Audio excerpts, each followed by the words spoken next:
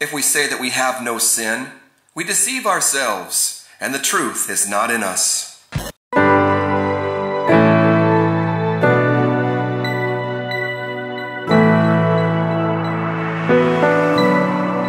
Join us as we hold on until the end. This is going to blow your mind. All the stuff that we've been learning over the years in our churches have been wrong. It's time for us to listen to Jesus, don't you think? It's time for us to learn from the Master. The Master. I want to learn from Jesus. I really do.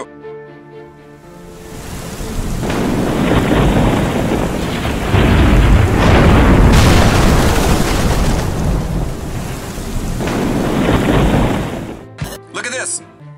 Satan twists scriptures to convince us that we are forever trapped. Like this scripture right here.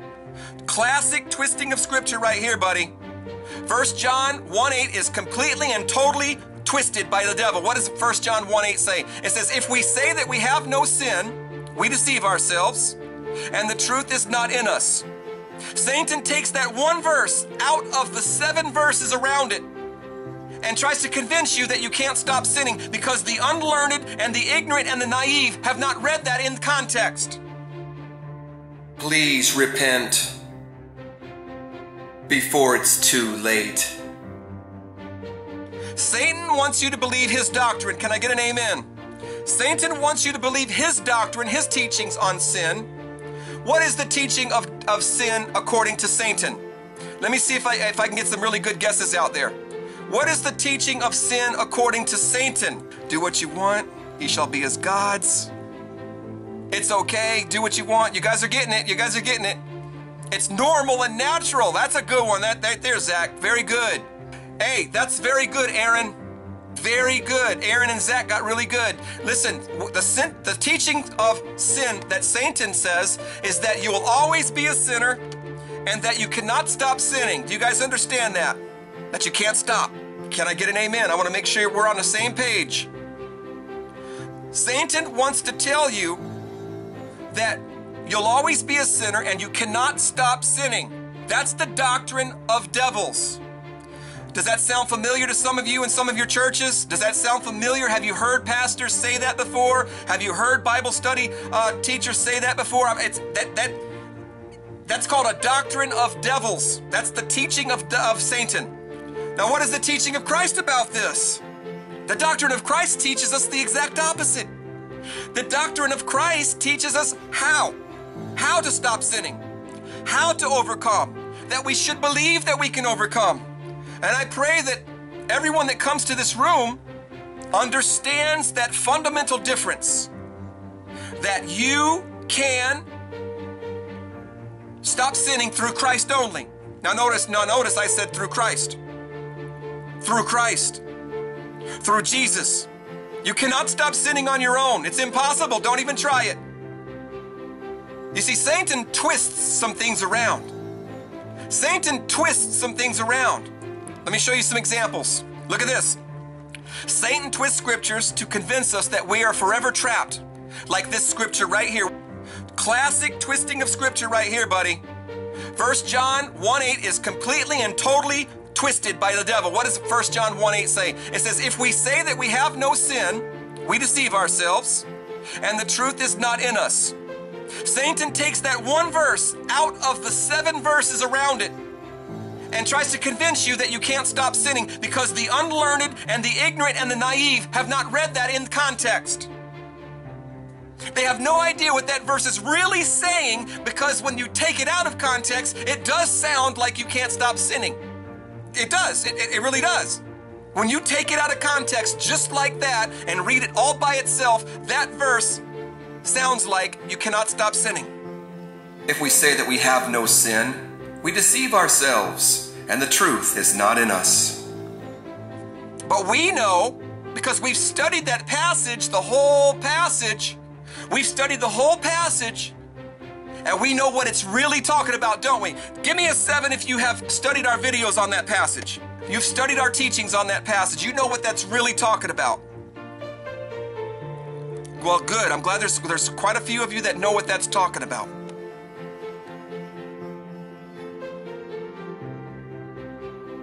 This is going to blow your mind. All the stuff that we've been learning over the years in our churches have been wrong. It's time for us to listen to Jesus, don't you think? It's time for us to learn from the Master. The Master.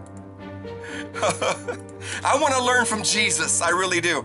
We know that that verse does not mean you can't stop sinning because we've studied it in context. We know that that's talking about someone who says they have never sinned in their life. We know that that's talking about somebody's overall life. That if they say there is no sin and that they have no sin and that they've never sinned, they're a liar. We know in context that that's what it's really talking about. Not day to day growing up in Christ and overcoming sin, but in your entire history saying that you have never sinned. That's a liar. All right, here we go. Listen, the Bible is filled with scriptures that must be in context or you will not understand the spiritual teaching. So many. And that's exactly what the devil does in his doctrine. He takes things out of context. Granted, there are things, spiritual, deep teachings that transcend the context, that it doesn't matter what's going on in the context. Those teachings would apply to every man, woman, and child around the universe, around the world, and it doesn't matter in the detailed context because it's such a spiritually impacting teaching. For instance, when God says, You can do all things if you believe, He's talking to a specific person in that context. However, that applies to all of us. In every situation of our lives, God is teaching a universal teaching. You can take that out of context. Paul takes it out of context. He uses it. Philippians 4:13 he says, "I can do all things through Christ." That's the same form of teaching. You can do all things if you believe. I can do all things through Christ. Paul's using it in his situation. He's struggling with a few things. You don't have to have some of those things, the spiritual, deep teachings of God, in context. But some, you have to have them in context or you're going to miss the spiritual teaching. And see, that's why we need discernment, understanding how to rightly unfold or divide the Word of God and allocate it and manage it and put the pieces together appropriately. This takes an anointing with God, it takes a relationship, it takes growing in Christ. I'm not perfect yet, but I'm laying out the foundation of how we can grow. Some things you have to have in context, some things you don't. I'm, that's just the way it is. This is one of those verses that if you take it out of context, you're not going to get the spiritual teaching behind it. Let's start with the context of this verse. All right, the people that don't understand this or don't want to understand this are really the people that don't want to stop sinning. They are looking for ways that they can justify their sin. If you love God and you love holiness and purity, and even though you're not perfect, you're still trying to turn away from wickedness because you have God living in your heart. That's your desire is to live pure and in love and in, in holiness. So if that's who you are, even though you're struggling, you'll understand this teaching. But if you like your addictions and you want to justify it and you, you you're going to look for teachings that tell you it's okay to continue down that path because your heart is not right. It's not set on the foundation of God. This teaching really distinguishes those who are in Christ and those who are not because this teaching is about fellowship with God, having fellowship with God, having a relationship with God, and how you can tell the difference between those who are in Him and who are not. Let's start in the very first verse of 1 John chapter 1. That which was from the beginning, which we've heard and handled with our eyes, he's talking about Christ. He's talking about the word of life. He's talking about Jesus who came into the world. Look, for the life was manifested, and they bear witness of the eternal life which was with the Father and was manifested unto us. That is the Son of God he's talking about, right? Everybody understands that. See, look, verse 3 That which we've seen and heard, we declare unto you, that you also may have fellowship with us. There you go, the very th- third verse. He's talking about having fellowship with this manifested life that came into the world. And truly, our fellowship is with the Father and with His Son Jesus. This is already beginning to talk about having fellowship with God through Jesus Christ who came into the world. That's what we're talking about here. And these things I'm writing unto you, verse 4, that you may be full of joy.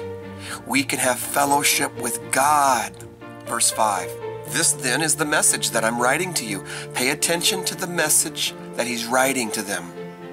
This is what we've heard from the beginning, and we now declare it unto you that God is light, and in him is no darkness at all. And this is talking about having fellowship with him. He is pure, he is righteous, he is holy, he is understanding and wisdom. That's what light is love, everything that's kingdom oriented. God is light. He is not darkness. He does not sin. He is not wicked. He has no uh, iniquity in him, right? No carnality. He's not like the men of the earth. So they're establishing right now that God came into the world and we can have fellowship with Him. We can have a relationship with Him. And He starts by saying right away, God is light. He's perfect. And in Him is no darkness. Right? Let's continue. If we say that we have fellowship with Him and walk in darkness, we're liars. Now, here, here's where sin is. Here's where sin is. It's actually teaching you in verse 6 that if you practice sin, you don't know God. Let, let's not even get into verse 8 yet. Right away, verse 6 is already establishing that if you say you know God, you have fellowship with Him, He's light, He's pure, He's righteous. If you say you have fellowship with God and you walk in darkness, you're a liar and you do not know the truth. Now, walking in darkness is someone who refuses to stop sinning, who says they can't stop sinning, who justifies their sin, makes, makes excuses for their sins, who refuses to acknowledge that they've been called to live holy. They love their sin, they perpetually practice sin, they call themselves sinners. That's all they do is sin. They even think that they're sinners. That's someone who's walking in darkness. When we fall into sin, brethren, when we fall into sin occasionally, we're not walking in darkness. When we sin, the Bible tells us we're covered by the blood of Jesus. We have an advocate with the Father. And if we confess, He'll give us life. We ask God to help us, He'll give us life through that process. We're not lost sinners. We're not lost sinners walking and practicing darkness. He is distinguishing someone who walks daily in darkness. Their minds are dark. Their attitudes are dark. They have no faith about changing, about holiness. They are doubting the power of God. They can't be changed because they don't believe. He's talking about that person. If that person claims to be a Christian, that person claims to have a relationship with God, he says right here, if we say we have fellowship with God, that we know Him, that we're involved with Him, and we walk in darkness at the same time, we are liars, we're self deceived, and we do not know what the truth is. We're walking spiritual zombies of dead religion and self deception. So, right away, this verse and this chapter, right away, before we even get to verse 8, right away, we need to establish that he's talking about having fellowship with the light of God. And if we don't practice light, if we walk in darkness, if we practice sin, if we continue to sin, if we continue to sin in darkness without trying, without trying to repent, without confessing Him, He says, You don't know God, you're a liar. So that's what this chapter and verse are coming out of. That's what the context is all about. Now let's continue so we understand what verse 8 is really saying. But if we walk in the light, we're not walking in darkness even if we slip in sin. If we slip in sin, we're still covered by the grace. If we slip in sin, we're still have an advocate with the Father. We're not practicing darkness. We're still children of the light. God has mercy on us. We're practicing righteousness even if we fall sometimes. He says, but if we walk in the light, we're keeping his words and commandments. We're striving to obey him. We believe his teachings. We're trying to stop. We're, we're seeking holiness. But if we walk in light as He, God, is in the light, so if we are in the light as He is in the light, if we turn from sin and seek holiness as He is holy, if we've confessed our sins and we repented as He is perfect and righteous, if we're working that out by believing, daily believing this is possible, that's walking in the light as He is in the light, look what it says. Then we have fellowship with God then the blood of Jesus Christ and his Son cleanses us from all sin. Do you realize you have to put your faith in his teachings before the blood of Jesus can cleanse you? Do you realize you have to confess your sins to God and turn from them before the blood of Jesus can cleanse you? The blood of Jesus cannot cleanse somebody that walks in darkness. Look at verse 6 says, if we have fel- if we say we have fellowship with him and walk in darkness, the blood of Jesus does not cleanse someone who does not live by faith. Someone who's walking in darkness does not believe the teachings of repenting from your sins. They think it's unnecessary. They don't believe, trust, or obey that, they're still in darkness. But we believe, trust, and obey that, even though we're not perfect yet. We're seeking to walk in the light as He is in the light. And then He says, We have fellowship with Him then. And then the blood of Jesus cleanses us from our sins. The blood of Jesus will cleanse somebody who lives by faith, who walks in the light, who confesses their sins, who comes to Jesus, who obeys his commands and teachings. That's the backdrop of verse 8. Look what verse 8 says. If we say that we have no sin, we deceive ourselves, and the truth is not in us. We have to confess our sin to God in order for the blood of Jesus to cleanse us from our sins. We have to turn away from our sin and walk in the light as He is in the light, and then we'll have fellowship with Him, and then the blood of Jesus will cleanse us from our sins. But if we say we have no sin, we say we have no sin. We don't need the blood of Jesus. You're essentially saying you don't need to follow Jesus' teachings. You're saying you don't need to obey him. You don't need to listen to him. Your sin is okay with you. You can keep your sin. He's saying right here if you say you have no sin and you don't turn from your sin, you're deceiving yourself and the truth is not in us. Is that not what verse 6 says? Verse 8 says, The truth is not in you if you don't confess your sin. But verse 6 says, You're walking in darkness. If you don't confess your sin, you're walking in darkness and you do not know the truth. Verse 6 says, If you walk in sin, you do not know the truth. Verse 8 says, If you don't confess your sin, you don't know the truth either. Look how this all fits together.